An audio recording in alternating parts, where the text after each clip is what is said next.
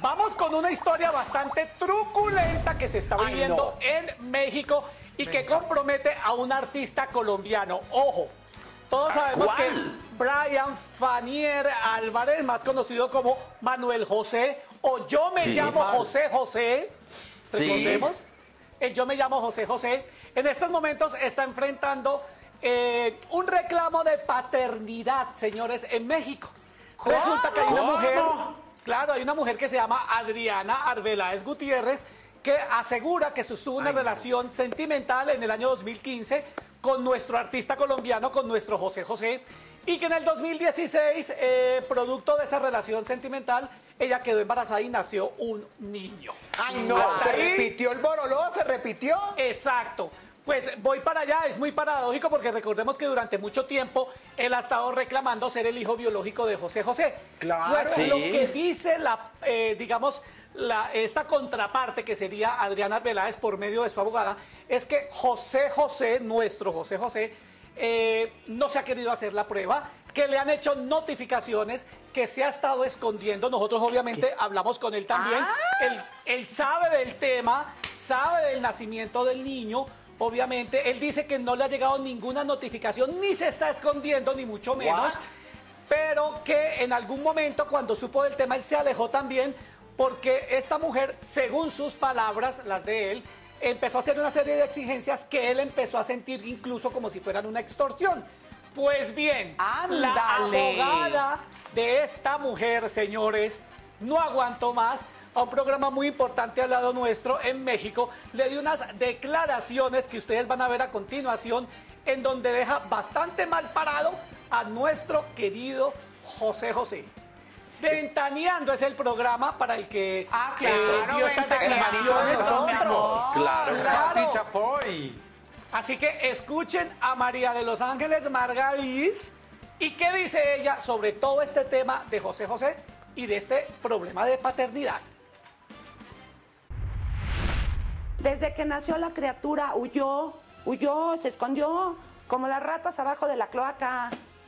Hasta este momento no hay forma de localizar al Señor. Vamos al domicilio y que ahí no vive, que ahí no está. todo esto se ha hecho en base a notificaciones a la Ciudad de México y a diferentes lugares. Ya nos cansamos, ya el juzgado está cansado y el juzgado ¿qué va a hacer? Proceder a los edictos.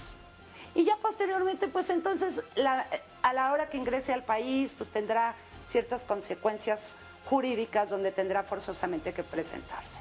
Claro que se esconde, claro que no puede continuar con sus obligaciones paternales. No le interesa al Señor por sus fans. Si no se escondiera el Señor y fuera un agente con principios y moral, como debería de serlo, porque además es una figura pública, ya se hubiera presentado el Señor al juzgado cuarto familiar de Naucalpan y hubiera comparecido y le hubiera dicho al juez, señor juez, aquí estoy, practíquenme la prueba pericial. ¿Por qué no lo ha hecho?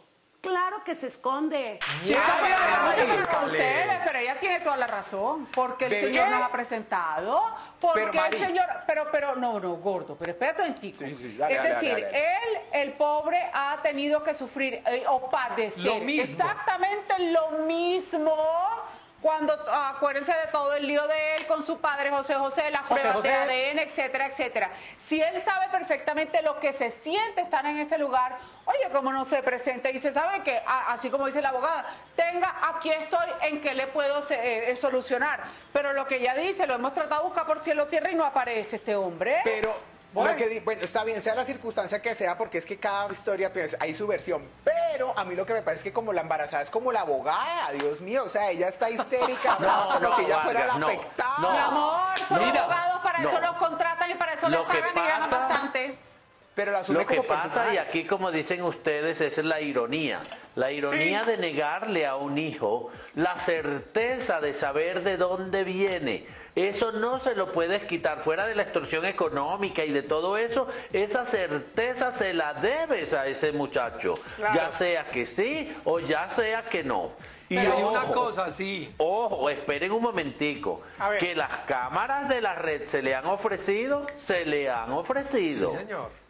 Mucho.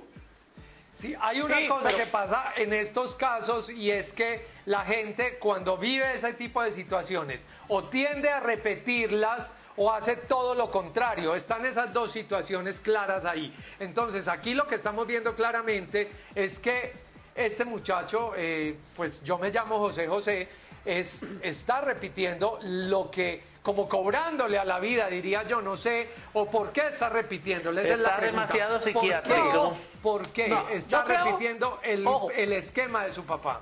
Claro, yo creo que hay que darle la oportunidad. Eso no se hace cuando se ha sufrido en la vida. En serio, muchachos, pero espérense. Eh, eh, nosotros obviamente volvimos a buscar a José José, yo me llamo José José, pero en el momento dijo que no podía, que no quería referirse al tema. No creo que esté evadiendo responsabilidades, pero ya la está viendo grave. ¿En qué sentido? Ya lo dijo la abogada. En el momento en que vaya a llegar nuevamente a México, si no está en México y va a entrar, ahí ya lo van a coger y le van a decir. Y México pues, es su mercado más importante. Pero, pero, pero chicos, si no estuviera viviendo responsabilidades, esto no se hubiera ido hasta estas instancias. Claro que nosotros... No, no, no, nosotros, no Mari, pero es que hay una circunstancia que no conocemos del man. Es que él debe tener un pero y lo ha querido tener callado porque pronto es su arma. Pero solamente se resolverá con la prueba de embarazo. Es que yo creo que ahí... de ADN. De ADN, de ADN, porque el embarazo ya pasó, ya la criatura eh, tiene cinco años. Sí, perdón. De con, la, la prueba de ADN Juan Carlos Giraldo no estaba mamando gallo cuando decía que Vargas y sus brutalidades, ahí está. Mari Méndez, ah, Mari, ah, Mari, ah. pero la verdad es que sí quiero que le sigas ofreciendo tú que eres la experta a Manuel José la, Cámara, porque le voy a contar una cosa, donde esto sea verdad, este hombre entra al desprestigio, pues esto no lo perdona la sociedad.